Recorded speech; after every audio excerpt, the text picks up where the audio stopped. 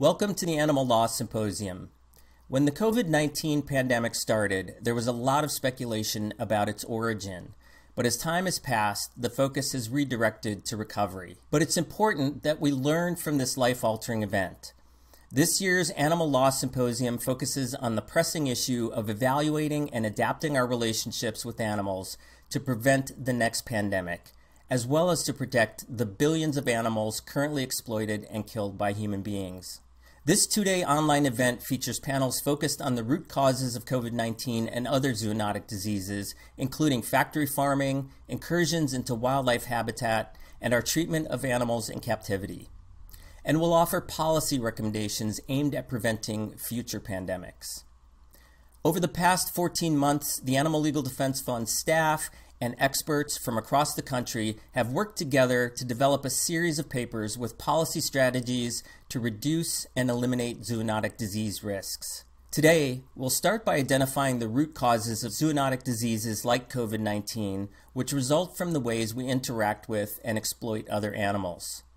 Kicking us off today are Dr. Aysha Akhtar, CEO and President of the Center for Contemporary Sciences, and Animal Legal Defense Fund Senior Legislative Affairs Manager Stephanie Harris, speaking about the sources of zoonotic disease and how our troubled relationship with animals increases the risks for zoonotic pandemic disease outbreaks. Enjoy. As mentioned, this session features a pre-recorded discussion between Dr. Aysha Akhtar and myself. Dr. Akhtar is a double board certified neurologist and preventive medicine specialist with a background in public health. She's the president and CEO of the Center for Contemporary Sciences, which is pioneering the transition to replace the use of animals in experimentation with effective human-based technologies. Dr. Akhtar is also the author of the recent book, Our Symphony with Animals, on health, empathy, and our shared destinies. Combining medicine, social sciences, and stories, her book explores how deeply the well being of humans and animals are entwined. She's also the author of Animals and Public Health, which argues for the need for medical institutions to include animals as part of the public in public health. Thank you for joining us today, Dr. Akhtar. Dr. Akhtar, we know our exploitation of animals puts us at an increased risk for the next global pandemic. Can you tell us how those relationships have changed over time and, and how that has influenced our level of risk? Sure. So, our level of risk has significantly increased over the past few decades. As a matter of fact, we've seen an increasing rise in the number of new infectious diseases, especially viruses. And it does get back to ultimately, in large part, to how we treat other animals. So there are several factors that are leading to the rise. One, of course, is human population. We've we're we're at a number that we've never been before, and that makes it easier for uh, viruses to mutate and spread among people. The other, of course, is that we're we're traveling more than ever before, which is what we saw with COVID-19 and how it could easily spread around the globe.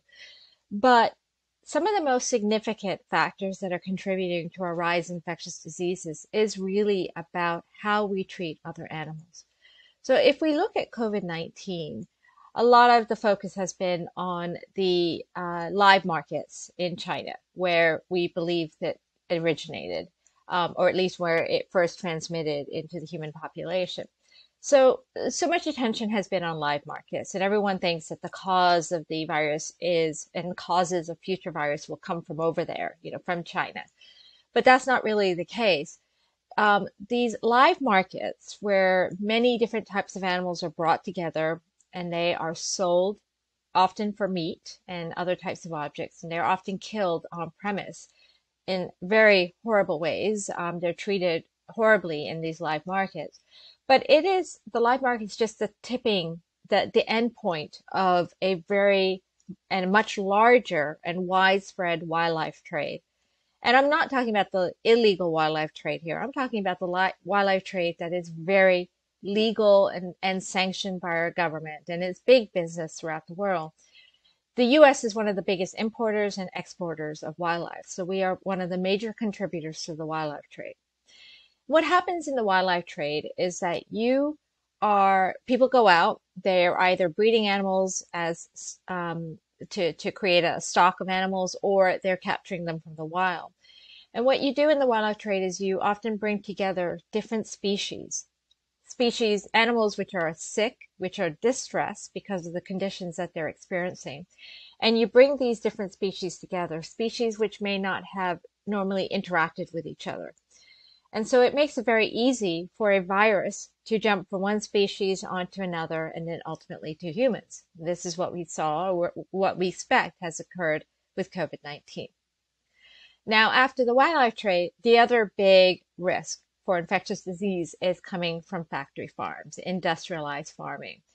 And that has, as we all know, that has increased in recent decades and it's now a global phenomenon. I think it started in the US, but now it's prevalent throughout the world.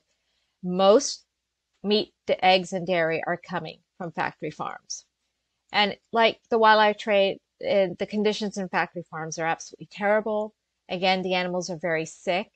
They're very distressed. They suffer a great deal. And that makes it again. And, and in addition, they're also, they're enclosed in very tight spaces. They're so crowded into factory farms. And all of those factors make it very easy for a bird flu or a swine flu to pass from one animal to the other and mutate. And it's, um, you know, it's as bad as the pandemic is today. I fear that the next pandemic will come from a factory farm. And I fear that this is just um, um, like a, a small taste of what a pandemic could be, that this is not as bad as it can be. Yeah, and your your work explores um, specifically how how stress increases an animal's susceptibility to disease and and the likelihood for them to spread disease. And could you speak to the types of stressors that you think are putting us most at risk?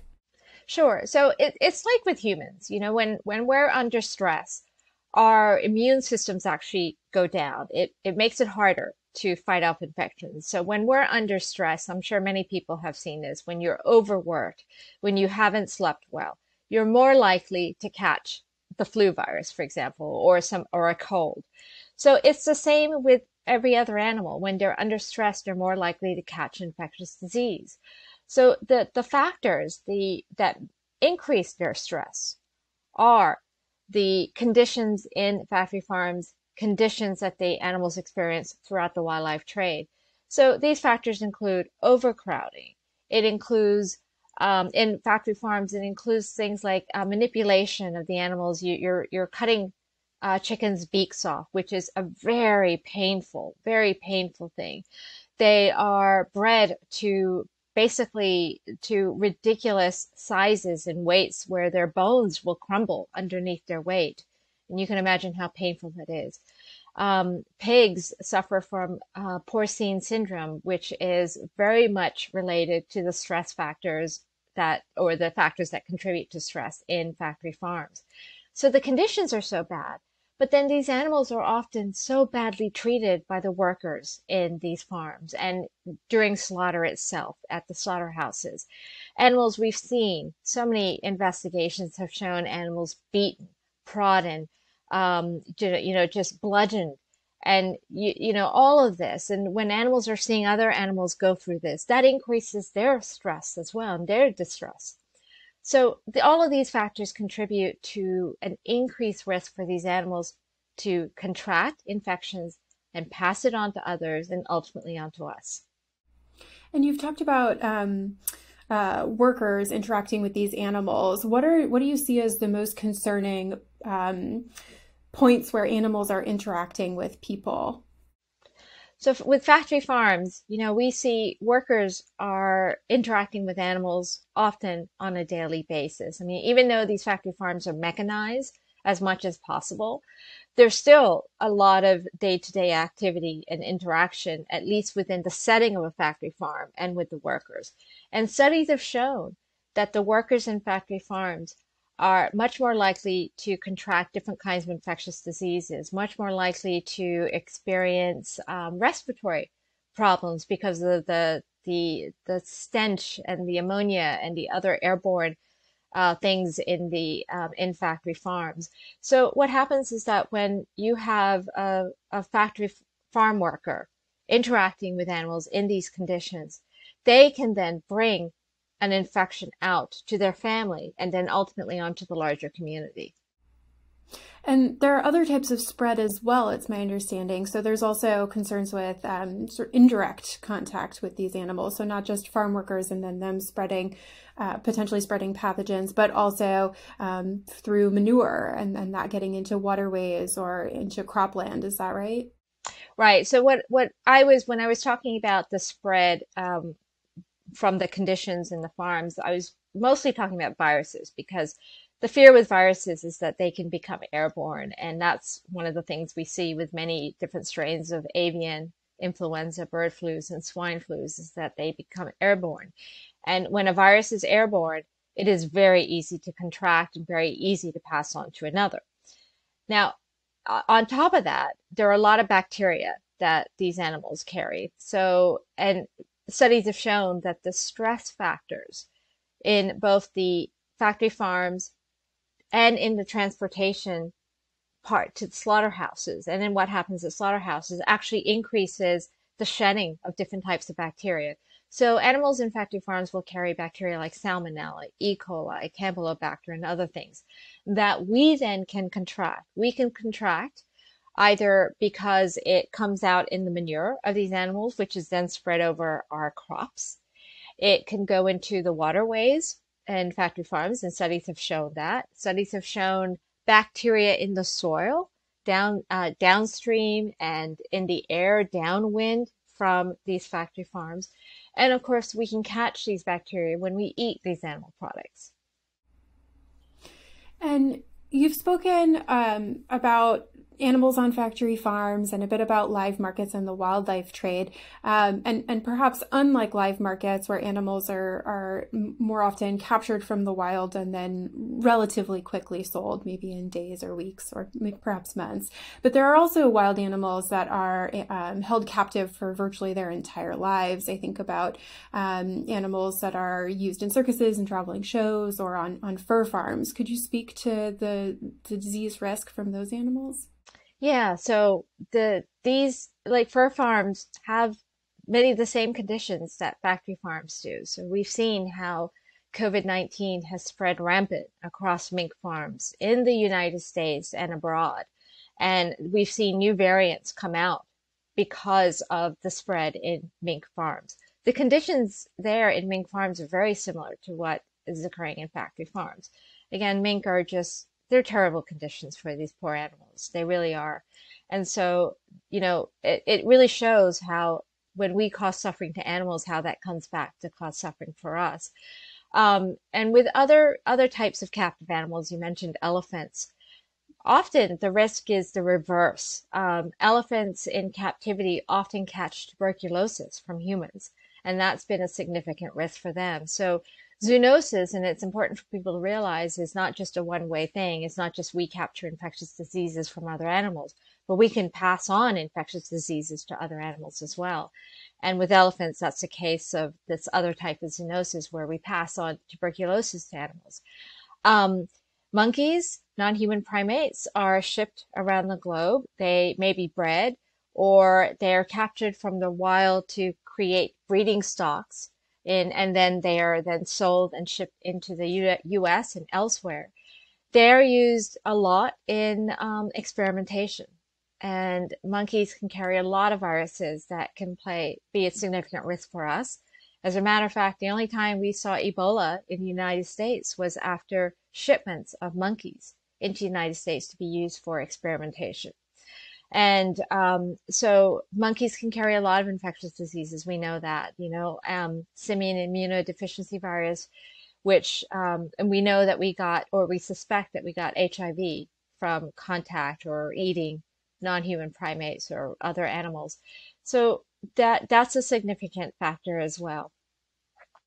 You mentioned reverse zoonosis in the context of elephants and tuberculosis. Um, could you talk a little bit about how that's impacting uh, mink fur farms and the spread of COVID 19?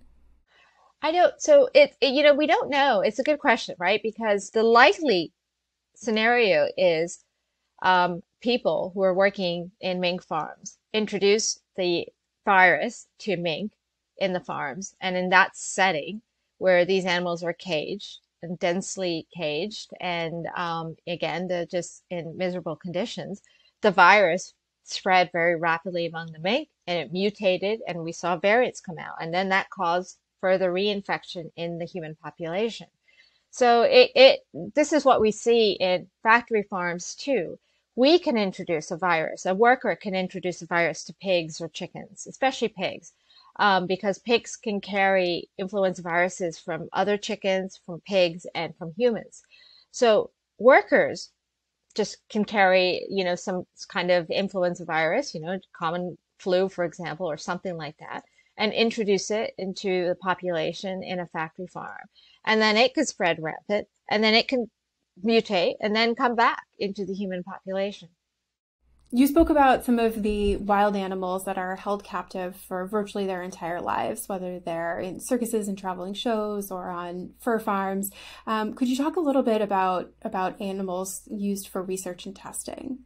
Right. So you know, we, we did talk about monkeys being shipped into the United States for use in experimentation, and they are held captive, obviously, their, their entire lives, which may be very short depending on the type of experiments they undergo.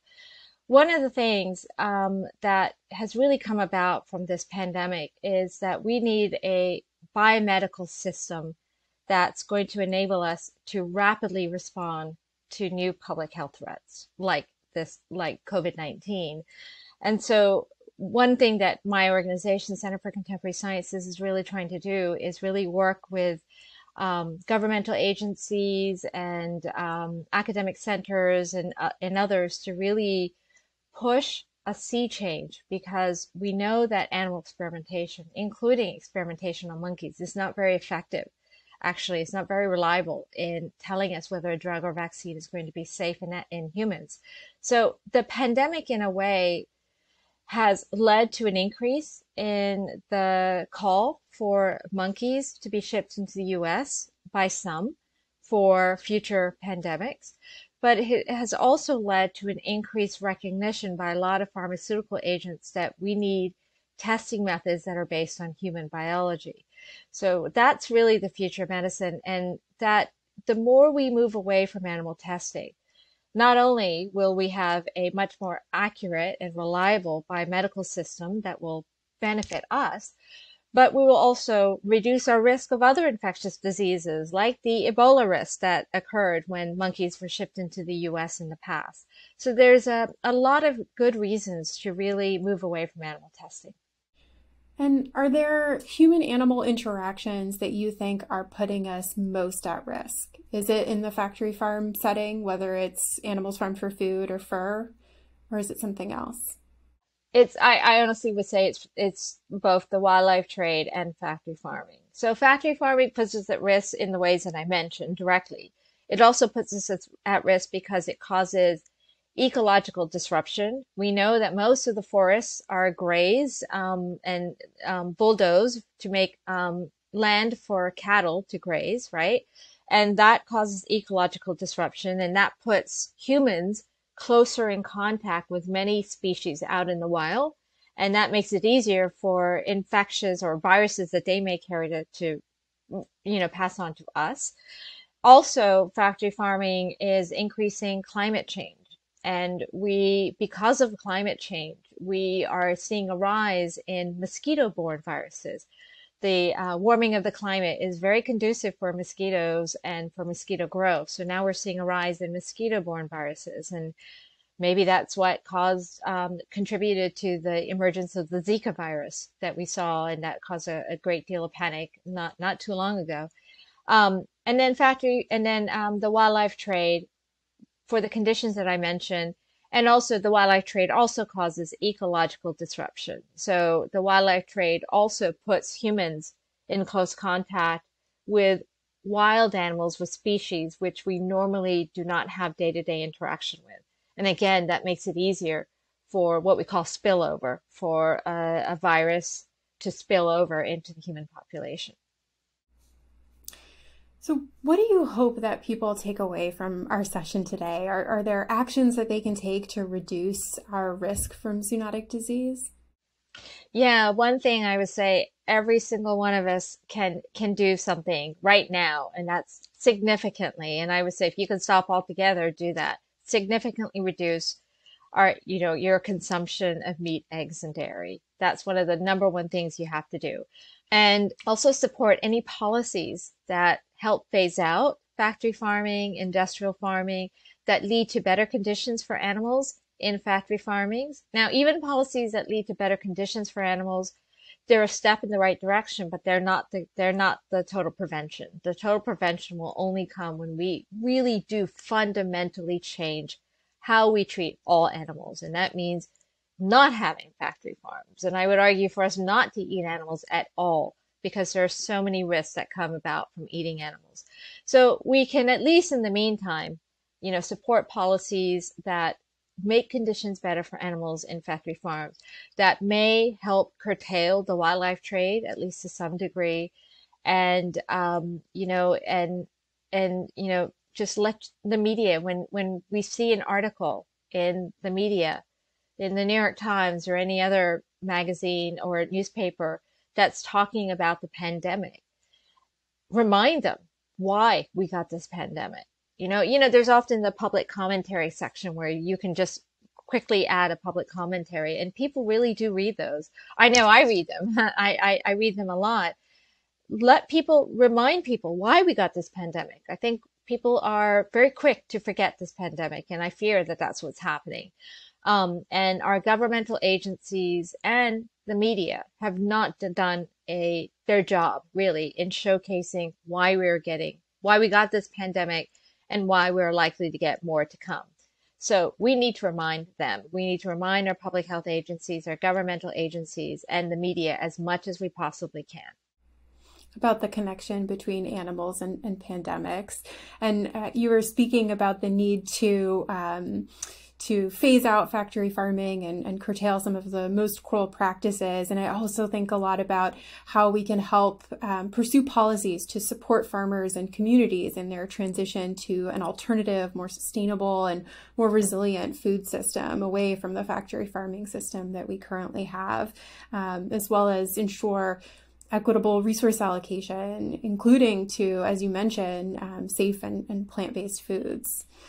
Um, so thank you so much, Dr. Akhtar. In, in, in looking to the future, as we've talked about, I, I think we can agree we, we really must pursue policy solutions that are more humane, equitable, and sustainable, and that will create transformative change across industries and social conditions.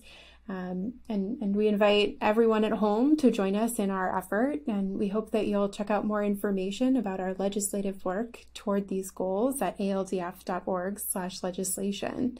Thank you so much for joining us. Is there anything else you'd like to add? No, um, I well, yes, I guess um, I hope I hope people take um, inspiration from this conversation to really not let up on our governmental agencies. I mean, they after this pandemic is over, they are going to just kind of get back to normal and we cannot afford to get back to normal. We need to constantly remind people that we cannot go back to normal. Normal was not good.